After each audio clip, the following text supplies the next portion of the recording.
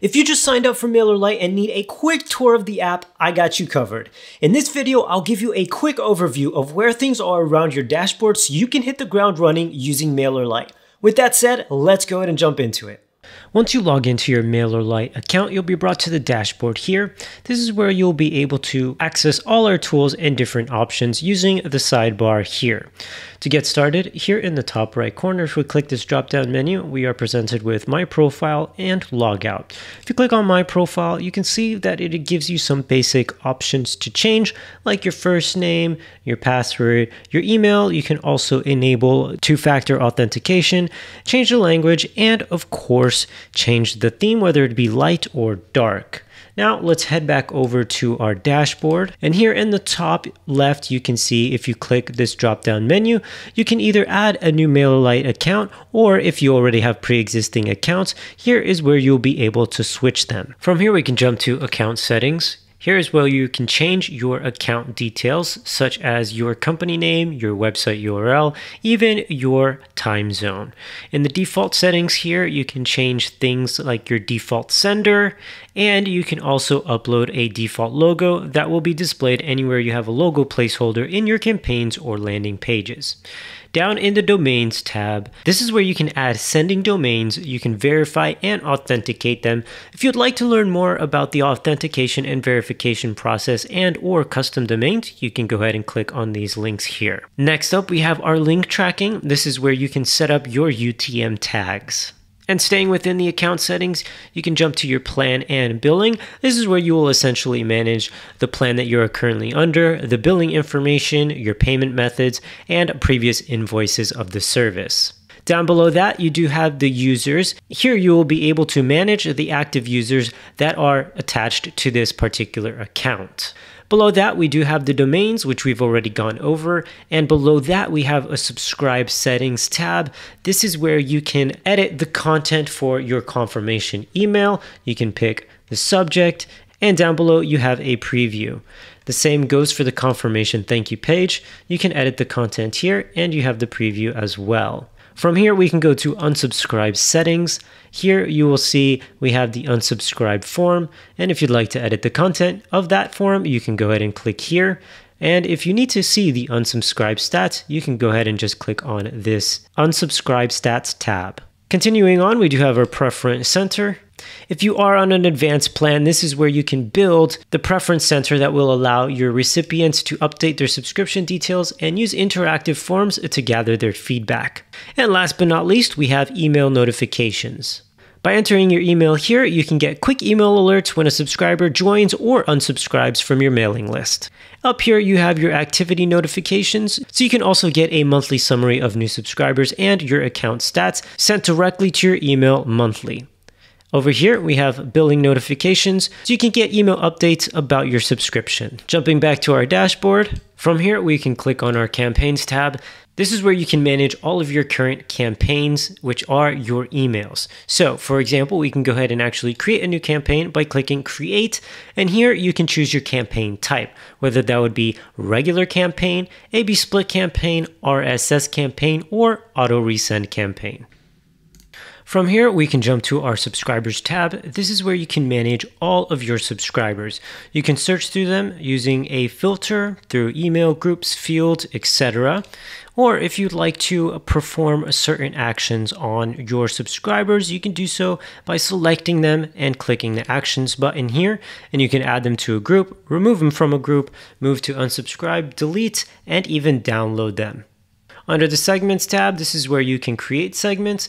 The same with groups, which you can also use as tags. And if you click under the fields here, you can see what is currently available. However, if you'd like to create a custom field, you can also do so by clicking Create a Field.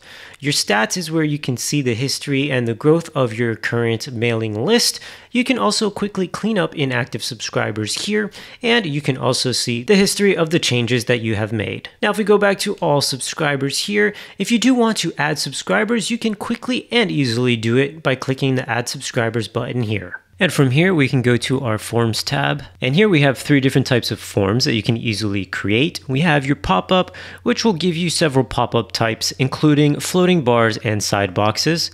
You can click on Embedded Forms, and this will allow you to create a form and embed it directly into your website. This is also GDPR friendly, and we also have our Promotions form, which will allow you to display important information like announcements or new discounts on your web pages you can go ahead and click create to create your form.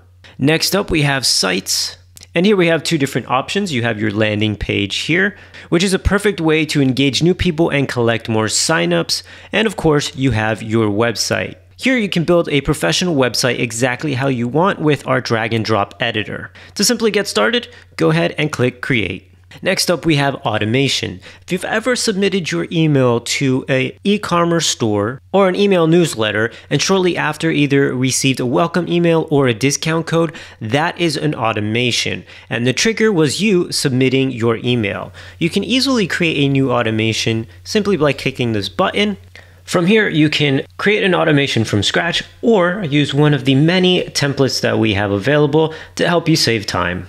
From here, we can jump to our integrations tab, and this is where you can gather a list of all the current supported integrations that we offer. Integrations with BigCommerce, Zapier, Canva, Shopify, WooCommerce, and so much more. Below that, we can jump to our file manager. Your file manager is where you can manage all of your media. This is where all the images and GIFs and things like that will be stored when you are creating your campaigns. If you'd like to upload an image, you can do so clicking this button here. We also do offer an easy way for you to add images and import them from a URL, Google Drive, and so on. Keep in mind you can also upload your media directly from the drag and drop editor as you are building your campaign. From here, we can jump to My Templates. Here's where you can create your own custom template to use in all your campaigns. Do keep in mind that creating a landing page template is a paid feature. Should you need any help or support, you can go ahead down here and click Need Help button. Here is where you can access our knowledge base, even our MailerLite Academy, and the community to share best practices and get ideas. You can also email our support, and if you are on our advanced plans, you do have access to live chat. You also can quickly access all of these options in the bottom right corner of your screen by clicking this icon here. And if you have a friend that might be interested in using MailerLite, you can simply go over here and click refer a friend to share MailerLite with your friends or family and they'll get a $20 credit when they sign up. If they end up upgrading, you'll also get a $20 credit too. Stay up to date with new promotions and new announcements by clicking the bell notification here. Moving over to the SSO icon, if you click on this, you are brought to this page. This is where the apps you've signed up for will be and where you can switch through them, including MailerLite Classic. They will be populated right here. Below, you can also check out some of our other products, like our MailerCheck product, which will allow you to validate your email in seconds, allowing you to increase your open rates and ROI with quick, reliable insights. We also have MailerSend, which has everything you need to send transactional emails, like sending invoices, delivery updates, and even forgotten password links in seconds. If you're interested in learning more about email marketing, we have a free online course to help you get started, along with our knowledge based articles to get quick answers to the most common MailerLite questions.